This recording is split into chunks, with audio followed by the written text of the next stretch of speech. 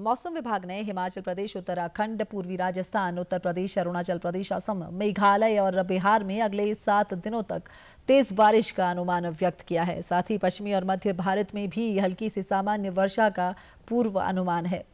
मौसम विभाग के अनुसार केरल, तमिलनाडु और कर्नाटक के उत्तर भाग में अगले पाँच दिनों तक तेज बारिश होने की संभावना व्यक्त की है।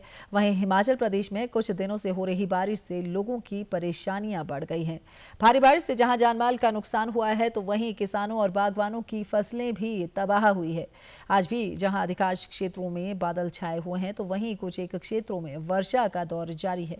मौसम विभाग ने आज प्रदेश के अधिकांश क्षेत्रों में भारी बारिश का येलो अलर्ट जारी किया है। इस बीच कांगड़ा, कुल्लू, मंडी, सोलन सहित सिरमौर में भारी से भारी बारिश बारिश होने की संभावना भी मौसम विभाग ने जताई है।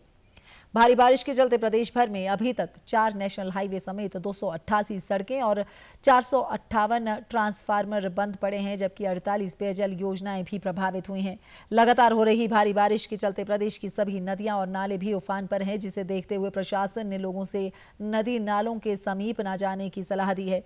वहीं बागवानी मंत्री जगत सिंह नेगी ने कहा कि सरकार आपदा से निपटने के लिए कार्य कर रही है। आपदा और बाढ़ प्रभावित क्षेत्रों में लापता लोगों की तलाश के लिए खोज अभियान लगातार जारी है। उन्होंने कहा कि बंद पड़ी और क्षतिग्रस्त हुई सड़कों को खोलने और तैयार करने का काम युद्ध स्तर पर जारी है। उन्होंने कहा कि इस वर्ष अभी तक बरसात में 180 के करीब लोगों ने अपनी जान गंवाई है।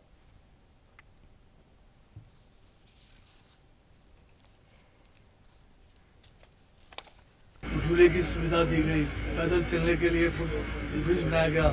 और समयज में लोगों की जो है, इनके जो है, जितने भी वहाँ प्रयास किए जा सकते हैं, वहाँ पर मशीनें लगाकर, खुदाई करके कोशिश की गई कि डेड बॉडीज वहाँ से रिट्रीव हो।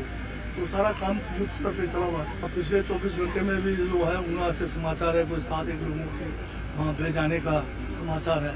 इस तरह से अभी तक कोई 180 से ऊपर लोगों ने अपनी जान वर्तमान इस बरसात में गुआई है।